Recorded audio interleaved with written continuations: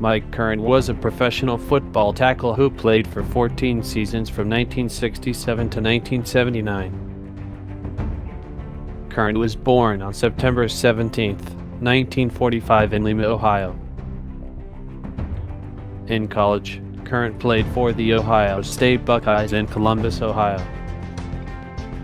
Current was drafted by the Denver Broncos in 1967 in the third round as the 58th overall pick. Over 14 seasons, Current played for the Miami Dolphins, the Denver Broncos, the Tampa Bay Buccaneers, and the Miami Dolphins. He was a one-time Pro Bowler. He passed away on January 16, 2012 in Polk County, Oregon.